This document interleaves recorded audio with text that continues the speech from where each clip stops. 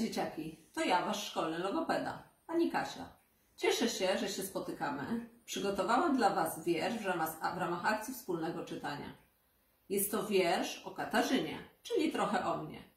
Wiersz napisał dla was Jan Brzechwa, a nosi tytuł Katar. Zapraszam do wspólnego słuchania. Złapał Katar Katarzynę. Psz, Katarzyna pod pierzynę. Psik. Sprowadzono więc doktora. Psik.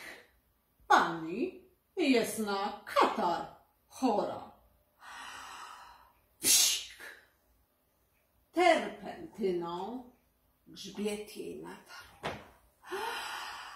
Psik. A po chwili sam miał katar. A, psik! Poszedł doktor do rejenta. Psik! A to właśnie były święta. Psik! Stoi flaków pełna micha. Psik! I już rejent w michę kicha. Psik!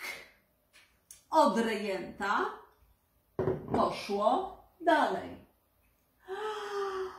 Psik! Aż się goście pokichali. Psik! Psik! Psik! Od tych gości znów ich goście. Psik! Że dudniło aż na moście. Psik! Przed godziną jedenastą psik! Już kichało całe miasto. Psik! Aż zabrakło terpentyny. Psik! Z winy jednej Katarzyny. Psik.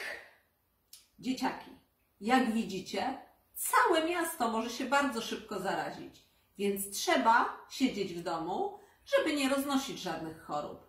Zostańcie w domu. Pro, proszę Was o to ja i do zobaczenia na zajęciach online. Pozdrawiam!